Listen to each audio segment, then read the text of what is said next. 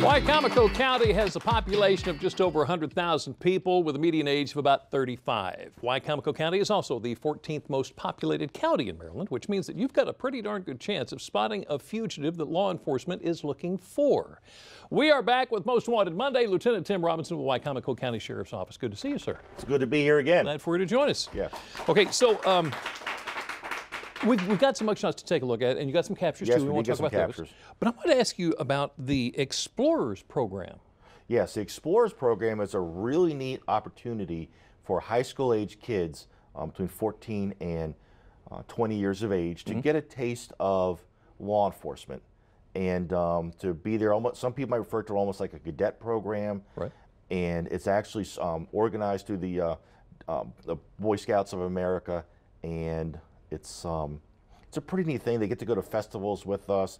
Uh, they can do traffic control. Uh, they can learn some behind-the-scenes stuff of, of police. They can do ride-alongs, learn stuff like uh, evidence processing. And what's the point? Why, why are you doing it? We're doing it one to give you know something for the youth of our community to get involved in, and to uh, be be belonging to it, and learn and learn some of the uh, the true things go on with law enforcement. Get to know some of their area law enforcement officers, and it's, it's a great program. They can get on some volunteer and uh, community service hours too. And one thing I want to mention, we are having an open house uh, next Tuesday.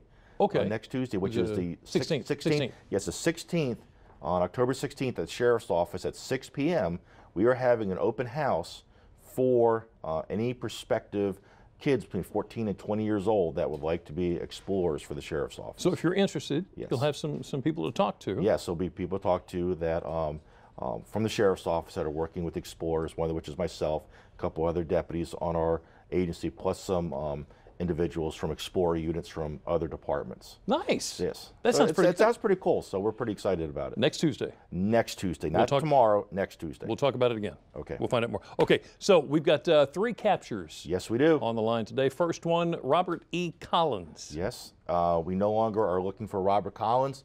Uh, he was picked up and his warrant was served. Wayne Dean Davis had burglary and felony theft charges. Yes, Mr. Davis, uh, he was directly apprehended as a result of tips.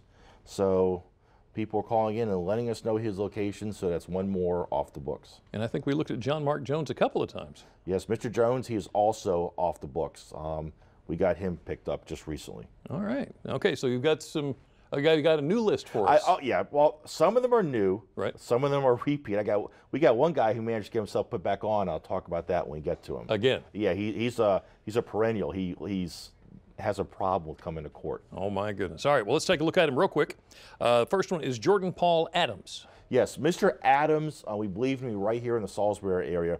We have a warrant for Mr. Adams that was issued in connection with CDS or drug distribution charges. So Okay. if anybody knows where Mr. Adams is, just call the Crime Solvers. James Lester Bowden III. Yes, Mr. Bowden, um, we know a couple things about him. One, he is an Orioles fan, and he also um, lives in the Princess Anne area that we are aware of, but we don't know where exactly he is right now. So if anybody knows where Mr. Bowden is, please uh, pick up the phone, call Crime Solvers, so we can get him brought in because we have a drug uh, possession warrant for him. All right, Jerome James Bright Jr. Jerome Bright, we believe him to be right here in Salisbury.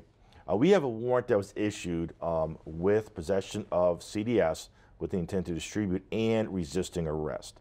So if anyone knows where Jerome Bright is, all they got to do is pick up the phone, call Crime Solvers, and tell them what his location is. All right, see if you recognize Tarika Lashan Chandler. Tarika Chandler, we have profiled her before. Uh, we have charges that were issued for her in connection with a theft case.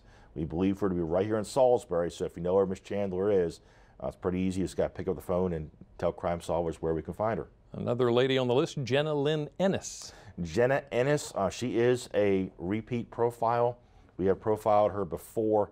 Uh, we have an address for her in Marion, Maryland, down which is down Somerset County. For your viewers down there, we have a warrant that was issued for her in connection with theft charges. So if you know her location is real simple, just pick up the phone. And finally, Ralph Lee Pusey Sr. Yes, Mr. Pusey. He was the one I was alluding to at the beginning of the show that he gets he, he has a he has a long track history of of getting charges and not coming to court. It's a cycle with him, and he doesn't come to court. And then we issue another warrant. We pick him up, and he goes to court and he doesn't show up again. Hmm. So if anybody knows where Mr. Pusey is, just pick up the phone, call us, and we'll get him picked up again, and we'll see we'll see if the cycle continues. care. I'm running out of time here, so I want you to hit real quick the phone number and the money. 410 548 1776. You get yourself in the pipeline for a reward, paid by Crime Solvers, and get some cash in your pocket. It doesn't get any better. than Doesn't get this. any better than that. Lieutenant Tim Robinson, Wicomico County Sheriff's Deputy, thank you so much This was great. for coming in this afternoon.